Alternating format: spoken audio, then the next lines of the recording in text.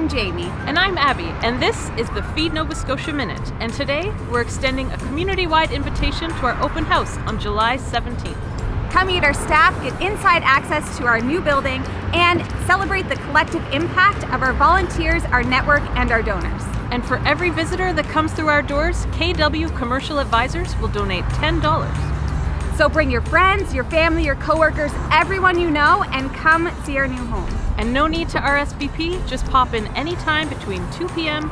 and 6 p.m. on July 17th. It's at 67 Wright Avenue in Burnside. And that's it for the Feed Nova Scotia Minute. Thanks for watching, and we'll see you on July 17th.